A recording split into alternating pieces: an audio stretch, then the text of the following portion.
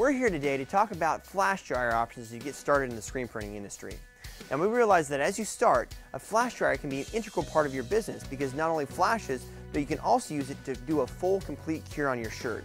Now right here I have two flash dryers sitting in front of me. These are both entry-level flash dryers in the screen printing market. Right here we have a low-cost manufactured unit with a coil element. Right here we have a little bit low, a low-cost but high-quality manufacturing unit. This is a made in the USA unit. This is a made outside the country unit.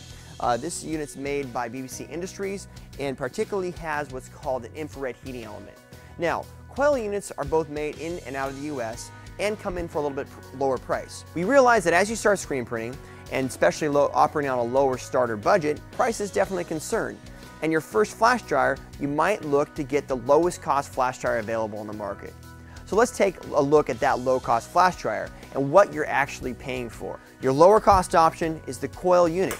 Now a coil unit is lower cost because A, made out of the country, some of them are made out of the country, the ones that are made, made in the country, uh, much less sturdy, uh, easier to put together, and the most expensive part of the flash dryer is a coil element. Now these coil oven units are actually meant for ovens. They're infrared heat, but a very low cost coil infrared unit. Now, what a coil unit does, it's obviously cheaper because it's less complex to put together. And it provides heat radiating out of the coil. The way infrared heat is actually created is by resistance within the coil and the electrical resistance creates friction which creates heat. This heat is emitted from the coil of the heating element. Now, picture this unit red hot. It's going to be radiating heat from here, here, here, here. Now this area is going to radiate, much more heat than this area. This area is going to be radiating much more heat than this area. These areas aren't going to be radiating much heat at all. So you have heat, but it's not very consistent heat. Now what's important when you're curing a shirt, especially if you're curing a little bit larger design? It's consistent heat. What happens when you don't cure a shirt effectively all the way across the shirt? If ink doesn't cure, it washes out. Ink very, very rarely is bad. Most of the time, the reason it washes out of a shirt is because it's not consistently cured. How many shirts are you going to be printing and curing with your flash dryer? Is it worth saving a couple percent on a flash dryer by not knowing that you're getting a consistent cure? Now let's look at the other side of the fence. We have an infrared heating element. The way it produces heat is the same concept. Electrical friction, which creates resistance, that creates heat. But the heating elements are here, these coils are much closer together, and they're tightly packed and baked within this fiberglass heating element. This is an infrared panel. This is a coil unit. So take this, magnify it hundreds of times, and bake it within a heating element that actually more evenly distributes that heat throughout the entire shirt. That's going to give you a more consistent cure. A more consistent cure is going to give you a more consistent product for your customer. Now we'll do a final cure using both styles of flash dryers. The first, we'll do a white ink on a black shirt, which is actually more difficult ink to cure because the white ink actually reflects away the heat of the flash dryer. So let's rotate our printing pallet underneath the flash dryer.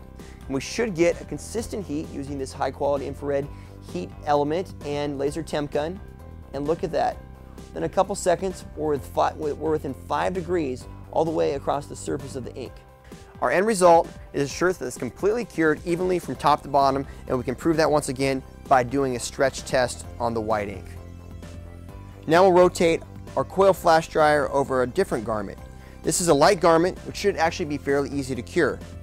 Now what can also happen with this coil flash dryer is during the curing process, because those coils emit concentrated heat sources, we can actually scorch the garment in certain areas following the coil. So we're going to slightly overcure this garment and actually show you what happens. We've let the shirt cure for about 35-40 seconds. Now let's see the results. Let's take a look at our final cure.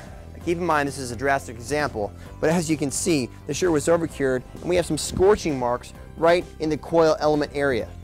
So, why mess with quality and the consistency of your shirt to save a couple bucks? Think about doing a run of 100 shirts and having them all wash out how much is that going to cost you versus how much are you going to save on a lower cost, lower quality flash dryer. So when you're looking to add a flash dryer to your business, sure you can save a few bucks by getting a lower cost coil flash dryer. However, the quality of your product equals your reputation in business. So you can either buy it nice or you can buy it twice and hope it works. But why do that when you can invest in a quality piece of equipment that can ensure the quality of your product and a good reputation for your business.